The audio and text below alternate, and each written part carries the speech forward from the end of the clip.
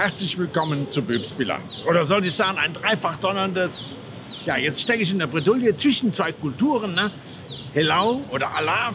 Na gut, wir sagen Helau. Also ein dreifach donnerndes Helau zur Begrüßung. Ja, das ist jetzt wieder die Zeit im Jahr so vor Fastnacht, wo mich der unbändige Drang überkommt, mich zu verkleiden.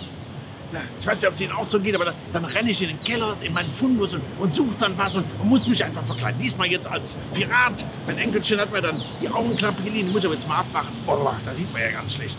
Jedenfalls das, das ist natürlich schon so ein, so ein Fragezeichen. Auch warum haben wir diese Lust, uns zu verkleiden? Immer, immer wiederkehrend, jedes Jahr vor Fastnacht kommt das. Und so habe ich mich dann auf die Suche begeben in der Forschungsliteratur. Die Biologen, die haben dann gesagt, es gibt so ein paar, die haben das untersucht, die haben gesagt, das ist so ähnlich wie bei den Zugvögeln. Da wird sozusagen dann in dieser Zeit des beginnenden Frühjahrs, wird dann so ein Schalter umgelegt, ähnlich wie bei den Zugvögeln. Die machen sich jetzt von Afrika dann auf wieder nach, nach äh, hier, nach Europa dann zurück. Die haben ja sozusagen zwei Wohnsitze, können das dann auch als doppelte Haus Haushaltsführung beim Finanzamt dann angeben und so. Und so ähnlich ist das wohl auch bei den Menschen, meinen die Biologen, dass wir dann so eine Art Fellwechsel haben. Ne? Dann zum, zum Ausgang des Winters wird dann sich bunt kostümiert und so weiter und so. Aber so richtig überzeugt hat mich das nicht, weil dieses Jahr zum Beispiel sind wir ja spät dran und das hat nichts mit dem Klimawandel zu tun. Letztes Jahr war der war ja fast noch viel früher, aber egal wann das ist, immer vorher, so eine Woche oder zwei vorher, kriege ich diese Lust, mich zu verkleiden. Also es kann eigentlich nichts wirklich Biologisches sein, weil mit der Sonne und so weiter, das hängt ja dann nicht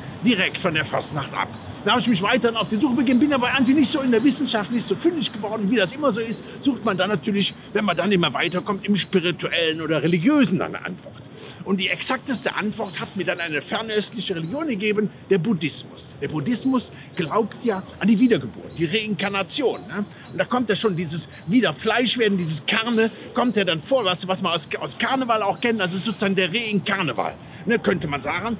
Das heißt, wenn wir an Karneval oder Fastnacht diese Lust bekommen, uns zu verkleiden, dann ist das ein Widerschein von früheren Leben, der uns da die Auswahl führt. Das heißt, es ist kein Zufall, ob wir dann wie Clown werden wollen oder sowas oder Pirat, wie jetzt in meinem Fall, sondern das hängt eben mit unserem Vorleben zusammen. Ne? Die Buddhisten glauben, dass das Vorleben dann immer auch bestimmt, wie man dann wieder auf die Welt kommt. Ne? Wenn man sich was zu Schulden bekommen hat, muss man eben dafür büßen. Ne? Zum Beispiel überlege ich die ganze Zeit, was musste denn dieser arme Mensch dann büßen, der jetzt dann in in dem Gauland steckt und diese hässlichen Jacketts tragen muss und diesen Müll absondert. Ne? Das ist schon schwere Belastung. Aber jedenfalls, das ist nach der Lehre des Buddhismus, ist das sozusagen unsere, unsere, ja, uns auferlegt, immer wieder geboren zu werden. Und wenn wir an Fastnacht dann so ein Kostüm wählen, dann hängt das mit einem unserer Vorleben zusammen. Ne? Also ich bin mir von daher jetzt auch ziemlich sicher, dass ich in einem früheren Leben mal Cowboy gewesen bin. Dann war ich garantiert mal Indianer, Pirat sowieso und Clown. Ne? Deshalb sehe ich so komisch aus und so. Also das sind so Dinge, die, die sind mir einfach plausibel jetzt jetzt. Und von daher suche ich da jetzt auch nicht mehr weiter nach Erklärung. Ich glaube wirklich die Wiedergeburt. Das ist es. Ne? Das Reinkarnation hat ja auch einen großen Vorteil, wenn man so mal denkt, man wüsste jetzt exakt, als was man wiedergeboren ist, wird, dann könnte man sich ja selber auch zum Alleinerben einsetzen. Ne? Das hat schon Vorteile. Das, das Ganze kann auch als Übergang als alte Inhouse-Veranstaltung stattfinden. Nehmen wir mal an, Sie begeben sich in eine Klinik für einen Eingriff, eine Herz-OP, Hüft-OP oder so. Irgendwas geht schief, wechseln Sie einfach den Raum. In der neugeborenen Station geht es dann von neuem los. Ne? Der einzige Nachteil wäre natürlich bei der Reinkarnation dann der Diaabend, ne? wo man so Bilder aus dem Leben zeigt oder so runde Geburtstage und so. Das könnte sich dann schon ziemlich stark dann strecken. Und guck mal, da, da bin ich schön zu sehen, wie ich dann da als Fruchtfliege bei dem Napoleon auf den Epauletten dann sitze und so. Ne? Das ist dann schon ein bisschen anstrengend, dann so ein Diaabend dann hinter sich zu bringen.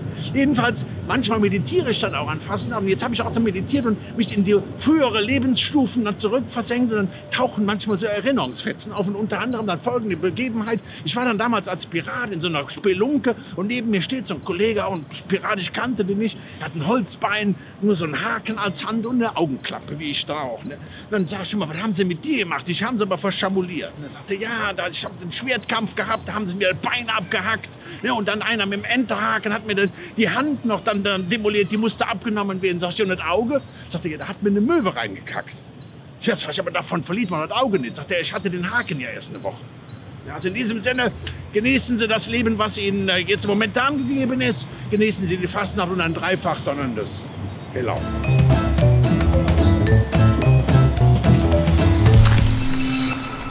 Jo.